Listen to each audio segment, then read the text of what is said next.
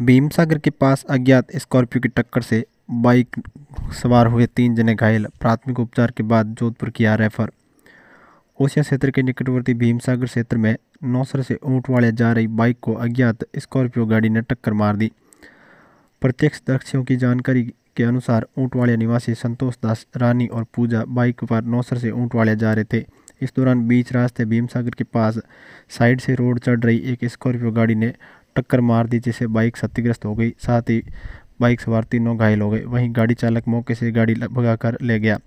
साथ ही घटना के बाद मौके पर मौजूद लोगों ने निजी गाड़ी से तीनों घायलों को ओसिया उप जिला अस्पताल पहुँचाया, जहाँ senior nursing officer Jagmal Ram Berad, Radheshyam, Sangeeta, Vijay, Hardev, Buddharam सहित नर्सिंग कर्मियों ने प्राथमिक उपचार किया।